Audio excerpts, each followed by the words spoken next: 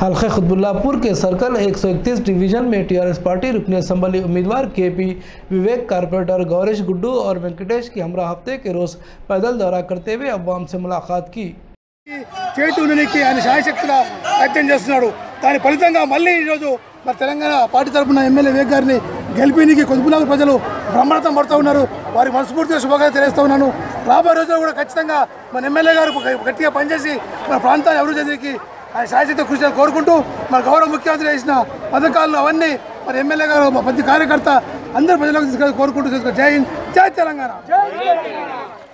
తెలంగాణ రాష్ట్రం మళ్ళీ అభివృద్ధి పదంలో నడవాలన్నా ప్రగతి పదంలో వేగవంతంగా ముందుకు వెళ్ళాలన్నా అది కేవలం మన గౌరవ ముఖ్యమంత్రి కేసీఆర్ గారితోనే సాధ్యమని చెప్పి ప్రజలందరూ నమ్మి విశ్వసించి ఈరోజు మేము ఎక్కడ వెళ్ళినా ఆదరించి ఆశీర్వదించి ఖచ్చితంగా మేము తిరిగి టీఆర్ఎస్ పార్టీ కారు గుర్తుపైన ఓటు వేసి మిమ్మల్ని గెలిపిస్తామని చెప్పి మరి వారి మాటలు చూస్తూ ఉంటే మాకు చాలా సంతోషంగా ఉంది.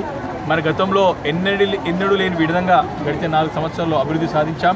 ఈ నాలుగు సంవత్సరాలు చేసిన అభివృద్ధి చూసి ఇంకా మా కుద్దులాపూర్ నియోజకవర్గం అభివృద్ధి పదంలో ముందుకు వెళ్ళాలంటే మళ్ళీ కే టీఆర్ఎస్ పార్టీ గెలిస్తేనే గౌరవ ముఖ్యమంత్రిగా కేసీఆర్ ఉంటేనే ఇక్కడ మనం ఎమ్మెల్యే ఉంటేనే మనం సాధించుకోవచ్చు అని చెప్పి ప్రజలు పూర్తిగా నమ్ముతా ఉన్నారు విశ్వసిస్తూ ఉన్నారు.